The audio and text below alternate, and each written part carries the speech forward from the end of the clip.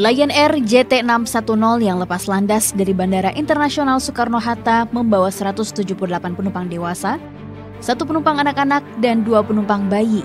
Total ada sebanyak 181 penumpang dalam pesawat dengan rute penerbangan Jakarta-Pangkal Pinang tersebut.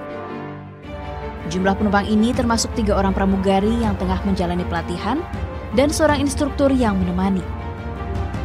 Pesawat ini dipiloti oleh Bavia Suneja dengan First Officer Harvino dalam manifest, pesawat juga dilayani oleh lima orang pramugari yakni Citra Novita Angelia Putri, Cynthia Melina, Alfiani Hidayatul Solihah, Vita Damayanti Simarmata, dan Mary Yulianda.